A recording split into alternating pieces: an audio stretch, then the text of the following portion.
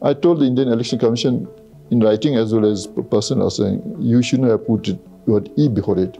Because people think it's a computer. That's why every now and then losing party or losing candidate says that there's no fair, there's the rigged and so on. There's no way. Today, having watched a little bit of the DNC, people like Kamala comes, things might change, hopefully. But uh, if you get Trump, then probably I think there's no guarantee that there won't be a war, world war. Thank you for joining the week for an interview. Um, you were instrumental in running the country's first democratic elections in 2008.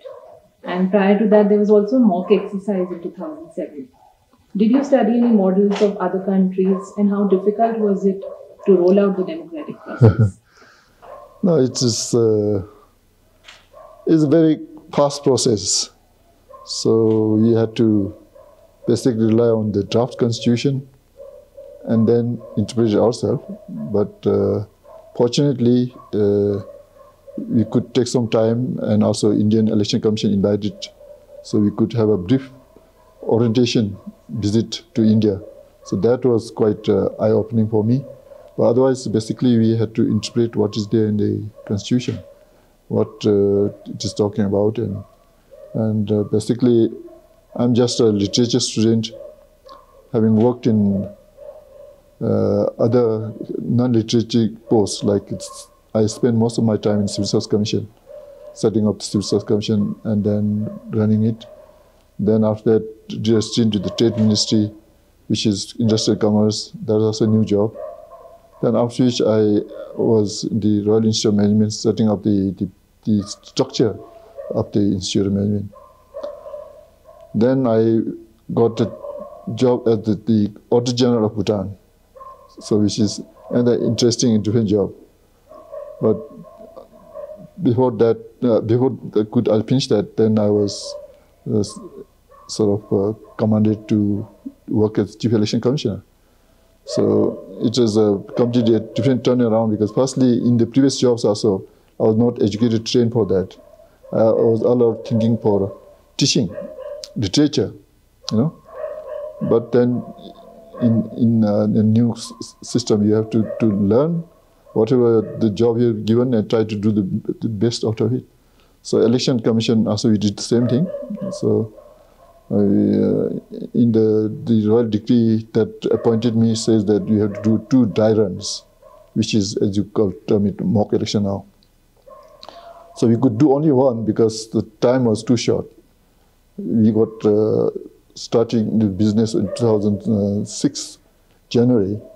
Then uh, by 2007, December, we had to, to, to finish the, the, the, National Council elections.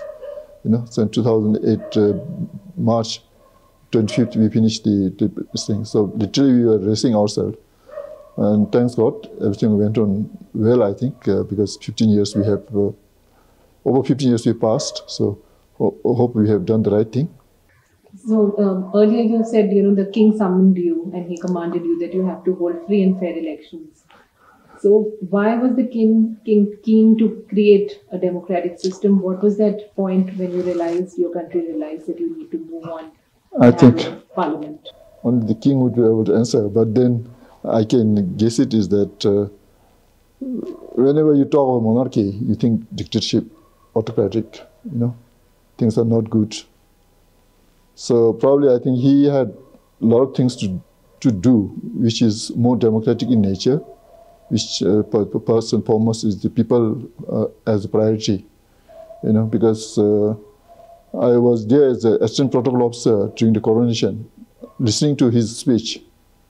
He was talking of people's participation, economic self-reliance and people's participation. I was wondering what is people's participation. And he also said that as a king, he's a single person. He cannot do everything by himself, so everybody has to be involved. Then obviously as we went around, he started talking about decentralization, uh, grassroots planning and development, which means people will have to decide what they want, they should plan, and they should help government uh, do it, not the king telling them what they need. So all these things maybe, and also during the the election time, I went for, to vote at my polling station. I think it was uh, BBC or somebody else who asked a question. You know, why why do you want election? You know, so I think that uh, you know, in a monarchy, even if it's a good king, people do not uh, think he's good. But if you have a democratic name, maybe I think it will make a difference. Everything will be considered democratic. So maybe that's why king wanted democracy.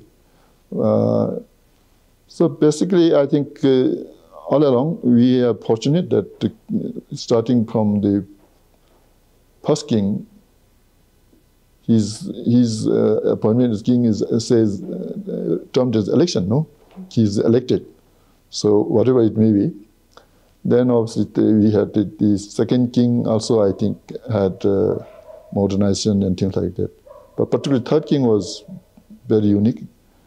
He started having National Assembly, uh, even judiciary, people's representatives being appointed, audit people's representative and, and the monastic communities uh, representing, you know, so everything is done by representative basis, which is more or less democratic, I'm sure, you know, something like that. So then the fourth king, obviously, he went into really having the election. And uh, as a person who was involved in this, at one time one got a little bit jittery and worried also because by the time we were working on election, King goes and addresses the, uh, the nationalist session in Eastern Bhutan. He says he's 2008, he's handing over. Mm? And the elections will be there.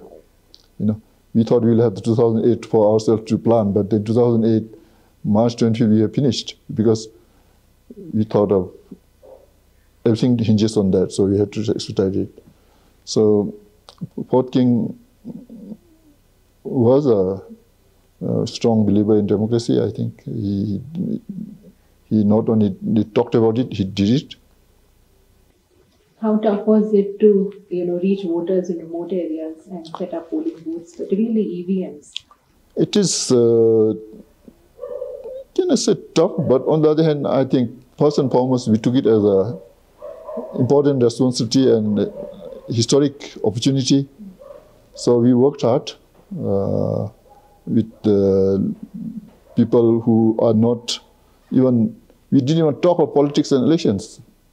No, as a monarchy, we just were supposed to do what the king wants us to do or the government wants us to decide. We do it. We didn't, we didn't talk because democracy means uh, election. Election means political parties. Political parties means opposition and all kind of things, no? Sort of thing. So yes, we had to prepare everybody. People come to vote or not because they said that no, even it happened after the election also. The, the some party members came all the way saying that they, they want to continue with king, not not democracy, you know, sort of thing.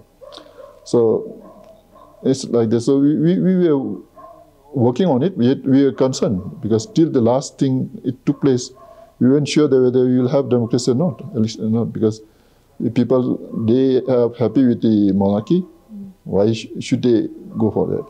And plus, also, I'm like, just now, also, I just uh, finished watching the De Democratic National Convention. Came, then obviously, some off and on we see the Indian uh, NDTV news and some of this news. You know, most people are not too happy to see this what what is being shown on the, the TVs and uh, what you read in the papers. Then obviously now this is uh, social media also. So this, those are concerns were there, uh, but yet on other hand, uh, we had two parties. So fortunately, fortunately, we didn't have to have the general election, uh, the, the, primary round, because we went straight to general election because one party, uh, two parties means primary round has selected who is the majority. So we we went uh, uh, we went by the general election thing. So that helped us a little bit, but on the other hand, it was a big, big concern. And you were talking about uh, meeting with the Indian Election Commission that time. Um, what are the experience uh, experiences that you can share with us, and how do you see elections in India today? okay, fortunately, as the Auditor General, obviously I was invited by the CNAG, so they wanted uh, me to tell them what I would like to see. So somehow I think with these changing times, I wanted to see electronics and computers and things like that. So I'd like to go to South Hyderabad. You know. When there, then they also took me to Bharat Electronics, I think. You have got Hindustan Electronics, Bharat Electronics. And they had arranged an exhibition of uh, electronic voting machine and computer, computer calculator, and then obviously solar and other tanks and things like that. So I wasn't uh, interested in uh, electric voting machine at that time. But as a courtesy, I just went by what demo they had. I was more interested in computer because people, farmers are supposed to use it and it helps them farmer. So I saw, but then didn't. Then later on, when I got election, then again I was invited by election commission, so India. So I visited the arrange a short uh, orientation program, then visit, then we went to the other other other electronic company. So then and there, I they should, again they had an exhibition of polling station. Then and there, I decided we'll go for EVM because I saw a lot of advantages. No, first and foremost, I regard it as the, is the answer to Indians. How many years of uh, you know acquisition that you all went through is bootlegging and uh, boat dumping and uh, all kind of thing, no boat rigging, all kind of thing. So I thought this is a well thought out thing. It's it's not a I told the Indian Election Commission in writing as well as person was saying, you shouldn't have put it, word E before it. Because people think it's a computer. That's why every now and then losing party or losing candidate says that there's no fair, there's rigged and so on. There's no way. If you, rig, if you want to, to mess around with this board, machine, you have to, everybody should be co co cooperating, including media. Because you can't do this in a peaceful way, quiet way. It makes noise. Hmm? And uh, you, at least, and then it has go through a series of stages of sealing different people, you know. At the end, you have seen a voting machine, it looks like a real bandage is the kind of thing, you know, a lot of things like signatures and seals and things like that. So when I was given the job, then I went to the, when they showed me again, I said, I'm going to go for it. So straight away I said that we would like to buy some. So we bought around 130 or something, I think, as a training, trial. Then rest, uh, first we bought it, but later on India government thought that they would like to reimburse the cost. So they reimbursed it as gift. So government Bhutan doesn't pay. But we, we bought this EVM because it saves a lot of resources. You know, you don't have to print voting papers. Then counting is become easier. You just press it, comes. You know, then transportation. Even the 4,000, I think we bought 4,000. 4,000, that also is so many truckloads have come. We had storage problem, you know. So imagine if the ballot voting machine, you know, so many, you know. So that has saved us quite a lot, electric voting machine. So I did not have luxury of visiting others, other countries, but India, since invited, I didn't, couldn't say no, so I went, and that was useful, eye-opening thing, and uh, I'm grateful for it. Uh, how, how, do you see the Indian democratic system today, from the time that you visited? Indian election system is fantastic, and uh, they are dedicated people, hardworking people. Uh, laws somehow I think are not perfect, but uh, so far the Indian Election Commission has supported the Supreme Court. So they had been able to do things with the blessing of the Supreme Court. EVM issues comes every now and then, but that also is no one could prove that there's a fraud thing. Then uh, laws thing, there were some issues could have been, like model code. It's a model code, which is not a actually legally binding, but Supreme Court said that they can go ahead, you know. So that helps because a lot of things, uh, you know, you can't do too much of uh, uh, mischievous things, you know, sort of thing. Mm. So I think uh, they do a fantastic job, and uh, and I take do whether right or wrong to Supreme Court support. The, the Supreme Court judges, judges has been very supportive for them. And I wish surely so also in Bhutan also we expect Supreme Court to play a role as the constitution of the uh, constitution and uh, they, they only have the, for the election commission we said only the court has the sole motor role. Otherwise, no, no one, you know. So, so as uh, Navin Chawla, when he visited Bhutan in the last dinner, he said that, oh, you and me, we are in a loneliest job, you know. Then I, it made sense, you know at time election, the Chief Election Commission cannot even consult the election commissioners because you appoint them, delegate them some subcommittee chairs or something. That decision somebody challenges and comes to you. You can't even consult them.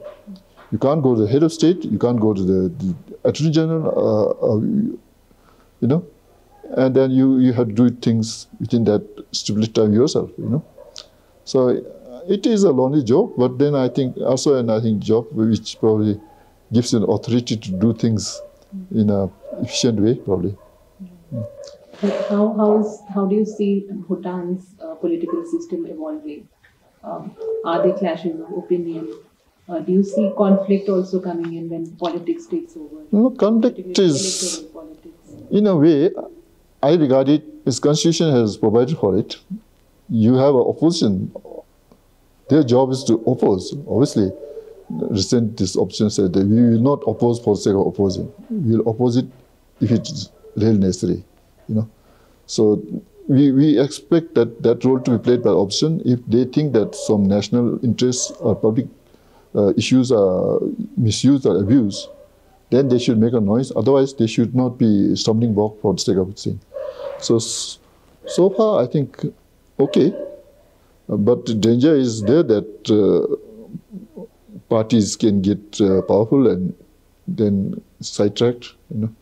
So far, I think we have survived three elections, and the fourth one is going on. Mm. And so, hope it will continue. Now you're living also as a common citizen. Uh, yes, and I'm also you also vote. What are the core issues of people today in Bhutan when they go for elections? What are they really looking at when they vote for a political party? Basically, is obviously everywhere the same thing. First, as a, as a voter, is you you want uh, peace. Second thing is prosperity, uh, which means uh, development activities. So here are same thing. So basically, as a human being, is uh, education, health, and then uh, uh, sure put on your plate, that kind of thing. So we are hopeful that the uh, government has come out with a very ambitious 13 plan, 13 plan, which talks about uh, by 2047 at least a lot of things will be better. Obviously, in the future, it's going to be, and uh, we're going to, they want it to be developed Bhutan. Just now, we just graduated from least developed to developing maybe. So they want to develop. So we are hopeful that uh, things will fall in, and in which obviously His Majesty King also has his vision, which influences a lot of decision making uh, on the right path. I believe you will be talking. They will give you the update on the mindful cities, uh, you know, in the southern Bhutan. So you will know that person probably. And you studied in St. Stephen's College in Delhi. Yes. Um, you know, it shaped your future, and in turn, you helped shape Bhutan's future. How has that journey been? What were the learnings during your college years? The St. Stephen's has been eye-opening. This, uh, I studied all along in Bhutan. Uh, you know, I had opportunity to study Kalimpong or somewhere, but for some reason, me and my, my best friend who died very recently, he was the, the private secretary of the Fourth King. He died as a private secretary in Dasha So he also decided, and me also, I think we, we both said we will study in Bhutan. So we came out to Paro from Bumthang. We were a place called Ura in Bumthang, from remote place. Then uh, after three, third class, we were sent to Jakar school. Then we up to class five, five, then we were sent to Paro. From Paro, he got taken with his master king to study. I got brought to Yangchenphug in Thimphu here. I think. So, so he was also instrumental in supporting the king in some of the ideas. And I also fortunate to have completed my school in Bhutan and then had the opportunity of going to college in uh, St. Stephen. And eye-opening. Uh, and also an opportunity first time, I always said that the only time I became a voter was first time ever was when Shashi Tharoor was one of the candidates for uh, St. Stephen's uh, Student Union's president. Okay. Chandan Mitra and one um, Mizo, no, Manipuri guy. Three of them were the candidates, so I voted for. Okay. So I told him when he visited Bhutan last uh, few years back. So I said, I bought it for you.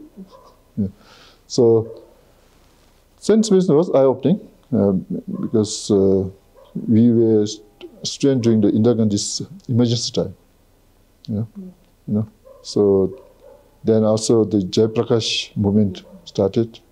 You could uh, see some moments. And uh, then also I think DUSU Student Union, where uh, Mr. Arun Jaitley, he became elected as president, I think. Yeah. So seen, seen that a little bit, you know. So I think uh, yeah, I've seen a little bit of uh, Indian uh, election practice. Yeah, yeah, yeah. Though, though as St. Stephen's, we not also take part in that. But for the first time, I think St. Stephen's, some professors and the students took part in the uh, JP movement. Mm. I think Professor Chakrabarti and even I think Mr. Chand Chandan Mitra. Right. Yeah. Do you think today the world is moving towards more authoritarian rule? Or do you see democracy somehow being under threat? Yes, it is worrisome, mm, worrisome, mm, but hope today, having watched a little bit of the DNC, people like Kamala comes, things might change, hopefully. But uh, if you get Trump, then probably I think there's no guarantee that there won't be a war, world war, you know, you know. But uh, uh, I hope that things will not be that bad. And uh, as of now, more leaning is toward autocratic kind of thing. That kind of concern is there, but then people will have to take the responsibility of exercising the democratic duties and responsibilities. When the election is called, I think everyone should go and vote, at least. You may not like all, but I always, as an election commissioner, I always tell the Bhutanese thing. People said, oh, I don't want to go and vote because I don't like, you know. I think, but you may not hate both of them equally. You may at least like one better. So at least vote for somebody. But at least go and show show yourself to vote. Yeah? No, we don't have the NOTA in Bhutan just now. Hopefully, I don't know, in future may have, but, uh, but we, some people don't go and vote because they don't believe in democracy, they say, you know. But I think you should, since we have decided we have, will have democracy, you have to do the responsibility once in four, five years. In India, it's four, five years, no? Five. USA is four years. I was wondering why they made four years, but you know. So that's you. Then after that, I think if you want to criticize the government at that time, you should have at least voted. Then you have right. Otherwise, you don't even have right to say anything. You have accepted whatever they do. You Do you think NOTA is also a vote? Are you a proponent of? I think. Uh, people should go and vote, but if you don't strong feeling against somebody else, at least you're saying that you don't like both of them. So at least that makes a difference, you know. So I think that's a major decision. So I'm sure it's gone through an election process. Uh, so we should respect the majority have that system put in place.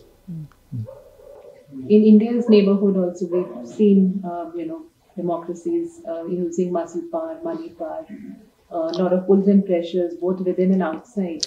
Um, how does Bhutan, a small country, keep itself safe in such times? So far, we have managed fairly well because I think basic the constitution of Bhutan was brainchild of the king of Bhutan. He saw what is happening in the world and then probably he noted down and then put it and then shared this to Constituent Committee. They endorsed it. So here, parties, uh, election campaign state finance. You know, they can spend only the amount which state provides equivalent, not more than that. And then the sources of fund should be three different sources. One is uh, one-time voter uh, uh, party registration form. Other thing is annual membership. Then you can, we had increased from I think uh, one lakh to five lakhs. That political contribution, that also only a registered member can give, not anybody. No big parties or companies or foreign countries.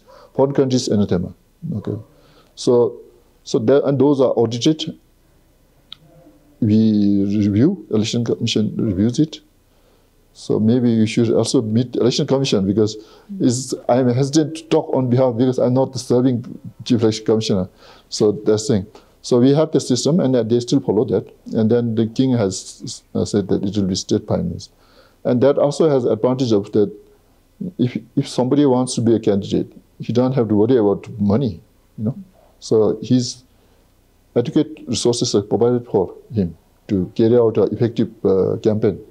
So then the rest is up to how he convinces the voters. You know, so, so otherwise, you know, a lot of problem. No, I'm like, somebody will buy the votes. You know. So that is, uh, funding is uh, all man managed. We have a law. Uh, as an uh, as, a, as election commission, when you started we looked at constitution, we found out that first is pharmacy, we have to have election law. So we did that. Then I found out that we had to do a public election fund law. So we did that. Then there was a need for referendum, which was not too immediate, but I submitted saying that referendum is not too urgent. Then saying at least have a basic one. So we have a referendum act also. Referendum act is basically you can also issues you can take it public.